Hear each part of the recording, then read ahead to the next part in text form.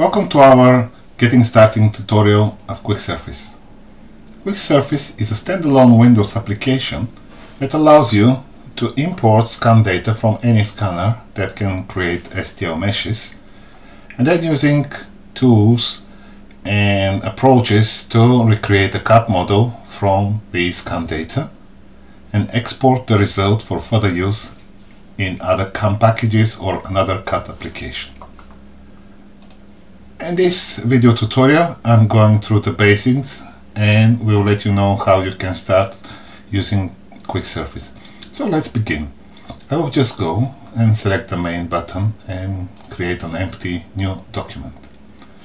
You can see this screen which you already have with you. You can open any STL file from the button open a file or as I recommend the best way is if you start with our example files. When you install the software, the software comes with the many example STL files that you can practice and can, you can learn from the tutorials and apply your skills on these parts and when you're ready you can move on to your specific project. To access these example files you need to go to help, select examples and then pick one of the files. In this video we're going through a simple Lego block which looks like this. The, imported STL mesh is placed into the main graphical area.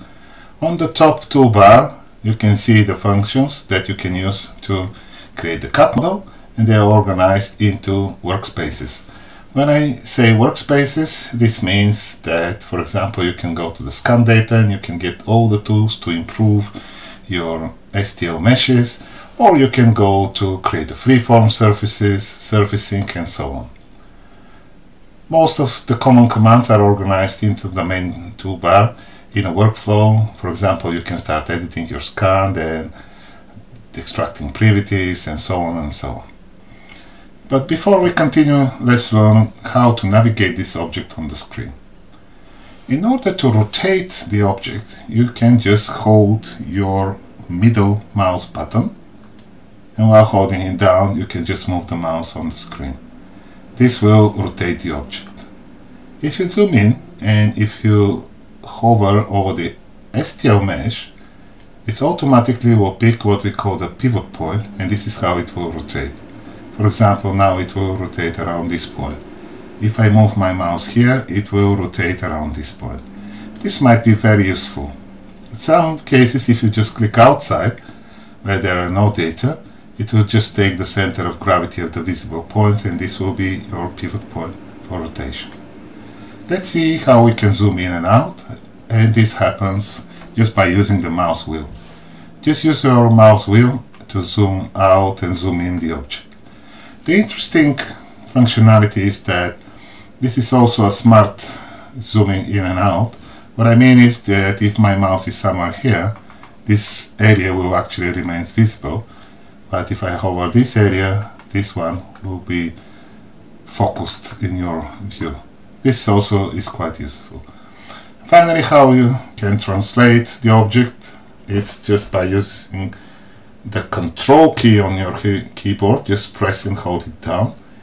And use the middle mouse button this allows you to move the object in some cases if you just get lost and it's the shape is something like this you can always zoom everything just by right click, click the right mouse button, you get the menu and then select zoom to fit. Or, of course, if you just press the A key on the keyboard. On the top right corner you can see something which we call the navigation cube.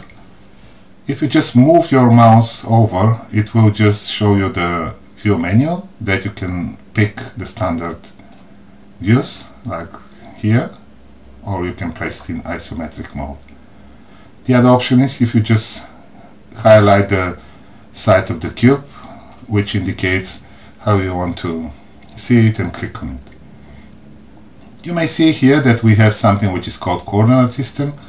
The coordinate system shows you the world coordinate system where it's, the object is placed you can see where is the origin, the axis, x, y, z axis that are indicator for you um, for your job during the reverse engineering.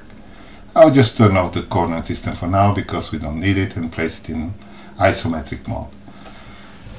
We'll begin our first reverse engineering project and before we begin let me explain how we're going to build it. We'll just create the one main body here and then we'll create the four cylinders and we'll combine them. Let's see how we do this in our software. In the CAD packages, you may know that the standard way of doing it is just creating revolved and extruded surfaces, different solids, and then you combine them with what is called Boolean operations. In order to create these shapes, in many cases we use something which is called sketching. Our 2D sketch is located into the main toolbar. I can just press it. Now what we see here is that we can have this uh, slicing plane and I can move it up and down just by hovering over the arrow hold the left mouse button and move it up and down and as you can see it just creates a slice on our scan data. We'll use these reference points later to reconstruct accurately our sketch for uh, building an extruded solid body. In this case as you follow my workflow just go to the offset into control dialog and type 5 it will just place it 5 millimeters from where it started. I'm okay with this and we'll press create. Now make sure that the hide scan data is uh, enabled. What it does that when I press create it automatically will hide my mesh. Here is the point to say a few words what you see on the most left. This is the object tree where everything is organized, the different bodies, for example, here you'll see later the planes, the cylinders and sketches and other surfaces or solids. Well, in the bottom window you will see the history. This is means that everything you do it will be recorded into a linear way so you can always go back and edit and everything will be reapplied. Let's create our first sketch. We'll be using something which is called extract primitives.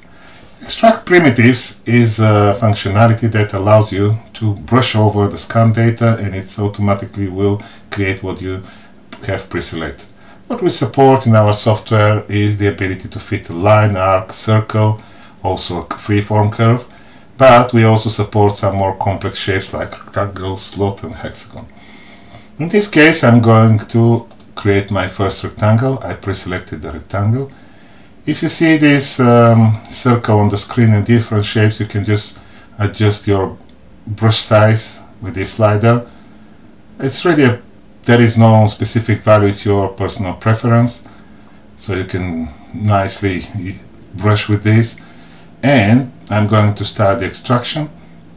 We'll hold my left mouse button down and we'll just brush over the sides of this rectangle the software automatically will detect it as a rectangle and will create it for me with the parallel sides.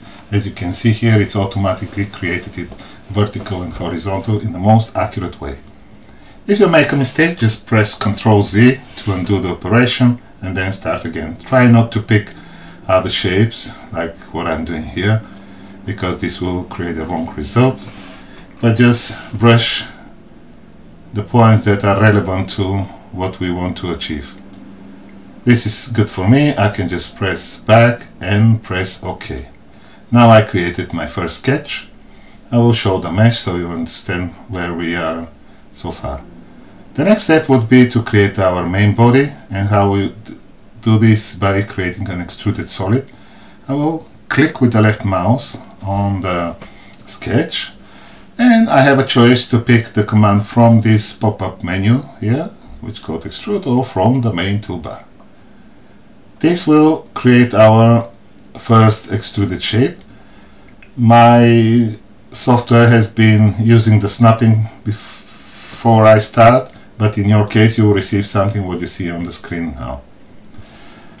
Now you have these handles, this means you can pick them with the left mouse button and drag them up and down to, to the way you want it to be. You can type in some values here, which probably means nothing to you at this stage. What I want to introduce here is something which is called snapping. Let's enable the snapping and we type here something which is 0.05 millimeter. This means that it will show me how close we are using our um, color deviation map and you can see how close you are with the underlying mesh.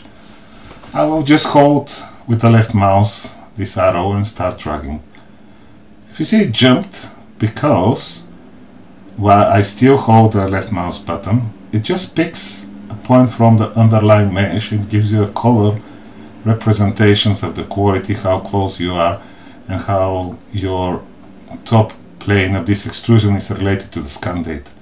You can see because this is a plastic box, you can never get everything green because it's a little bit deformed. What you see is colors, you can un understand from the color bar here, is that everything that is green is within 50 microns and everything else is outside this tolerance. I will just rotate with the mouse, uh, with the middle mouse button and we'll do the same on the bottom plane. Hold this and place it somewhere here. You see everything is green, this means it's very well manufactured. Now I'm happy with the result, I will press OK. So far we created our main body. Let's create the top cylinders. There are different approaches, you can extract cylinders, but in this case I'm going to use again a 2D sketch. I will pre-select the top plane and the software allows me to start a new cross section from this plane. I can choose 2D sketch here or the main toolbar and again if you remember I can just start dragging to pick the good cross section. In this case I will just place it at a 1 millimeter offset so you can make the same like me and I will press create. Now what we see here are the cross sections of the four cylinders. You see that they are deformed. So it's really how do we want to design this. We will just create the perfect circles here. I'm going again, if you remember, to extract primitives. In this case, we'll pick the fifth circle. Holding the left mouse button we'll brush over just over the one circle so I can extract the best fit of it. As I'm happy now, I'll go back. What I'm going to do now is click on the circle to pre-select it and we'll go and use something which is called duplicate selected entities. Technically duplicate entities is creating different patterns. The patterns can be linear or circular and in this case we need a linear pattern. You see that it's duplicated here at 10 millimeter offset. I can move my mouse hovering this arrow and I can just drag until it gets closer to what I need it, which is somewhere here. You can type in these values, you can change this to get it more accurate. In this case, I see that the best way of having this is 7.9 millimeters. But I also need in the other direction, I will just select direction 2 by default it's x uh, y axis and then again I can just drag it and place it where I want we want to make everything perfect so I will just delete this and make it 7.9 now we are done with these four circles. We created our pattern and we created our sketch. If you remember we can do this again by using the extrusion. Select the sketch and select extruded you can see that I I had uh, my mesh hidden so I show it back again. Now you can see here this is our history and these are our bodies. I can just hide the main body because I don't need it for now. Logically what our goal is just to take the top plane and place it on top of one of these um, cylinders. You can see that it gives a different results because this is not perfectly flat. During the manufacturing process something has been deformed. I will just place this in the left view and now what I need is just to drag this inside. The reason I'm dragging inside because this will help the software later to make what is called a combined operation. As I'm happy with this I can press OK. Now what we see here is the extruded surface 1 and the main body. We're still not ready. What we need to do is actually create one solid body out of all these. I can just hold my left mouse button and drag to select everything. Or the other option is I can just click on this feature. Then with the control, I can click on the other feature to make sure that the two are selected. What we need to do is what is known in the CAD industry like combine operation which is available in the main toolbar. I can just press combine. Combine works with the solids. We had the solids here and it merged everything together and created our solid body. We're almost done with our first project. What I need to do is just add some rounding on the top. I will show the mesh and we'll pre-select the combine solid and we'll go and pick something which is called fillet. In your case, this will be turned off, but you can always turn on and off the tolerance. The tolerance is a nice feature that will allow you visually to understand what is actually the fillet radius that you need. Now in this case, turn the tolerance on and with the mouse highlight the top four edges like this one then I pick the next one and this one and this one. If you make a mistake, just press reset and pick again the four edges that you need. As we're done now, you can hover over the arrow and start dragging. You can see that in real time the software shows you the deviation between the new fillet and the underlying mesh. This helps you understand what needs to be the fillet radius and then it's in your hand to choose what you need to provide. In this case, I will just type in 0.3 and press apply. Or if you decide you can play with 0.4. It's really in your hands to decide what values you can do. I can press OK and you can see that this is my first shape. In order to complete my project, I always press compare if you have a different color view here just make sure that you typed in 0.05 millimeters tolerance. The reason for this is that you can see how accurate your first project is in regards to the scan data. Again to explain the green colors means that everything is within 50 microns tolerance and everything that is colored different is outside this tolerance you can just move your mouse over the problematic areas and you can see the actual deviation from the underlying surface. Now you're done with your first reverse engineering project. If you want to take this out, you can just press export and export it as a step or IGS file format and load it in one of your CAD packages.